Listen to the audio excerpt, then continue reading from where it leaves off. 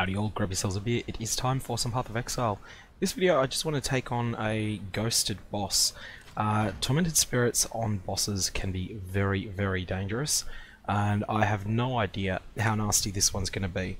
It's an unidentified rare waste pool, so tier 15 with Doedre from Act 8 as the boss.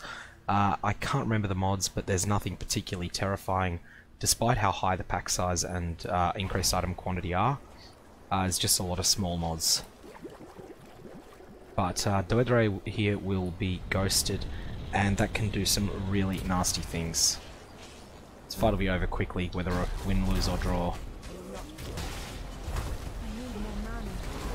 So it's a Rogue's Grip, which from memory is the speed one. Actually, much easier than I expected. Uh, yeah, I was expecting that to be much more brutal than it was. I think I may have had a um, just a bit of decision paralysis when I ran past the cauldron this way. I think I may have blocked her line of sight. I believe this this does block line of sight, doesn't it? It's just um, fire a spell there, and that works.